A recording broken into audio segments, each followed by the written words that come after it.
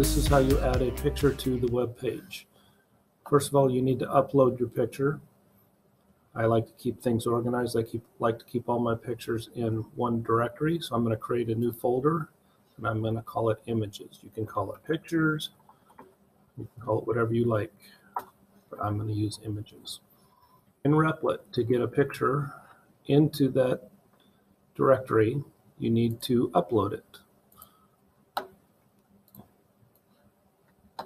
The easiest way is to drag and drop. On the Chromebooks, you can do this as well, but you find the picture that you want to use. And so here's a portrait I'm going to use. I'm going to drag and drop it into the images. And if I click on the little greater than sign, it should, oh, it did not get into the images, so I'm going to move it there. Now it is in images. So if you missed it, you got to put it in the right place. All right, I want this to be right in the content area of the About Me page. So the command to insert an image is less than sign img space src, which stands for the source equals open quote. And where is that image? Well, it's in the images subdirectory. That's directly underneath the about me. So we can just reference it and do a forward slash. So that tells it what directory. Now the file name, file name is Mr. capital M dash capital B dash B O R T R A I T dot JPG. And yes, it has to be exact and greater than sign.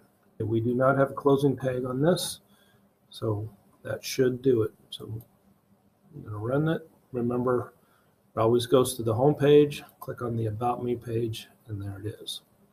It's much bigger than I would like, so I can fix that by one of two ways. I can go back and resize it, or I can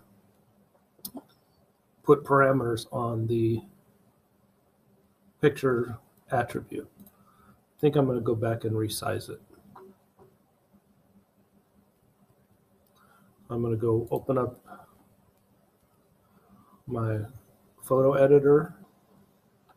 Yeah, still too big, so I'm going to resize in pixels, and I want it to be about 200. And we're going to file save this as Mr. B portrait dash small. Save that. Exit the full screen. Now I'm going to drag and drop that one into my images directory. Find it. Should be down at the bottom. There it is.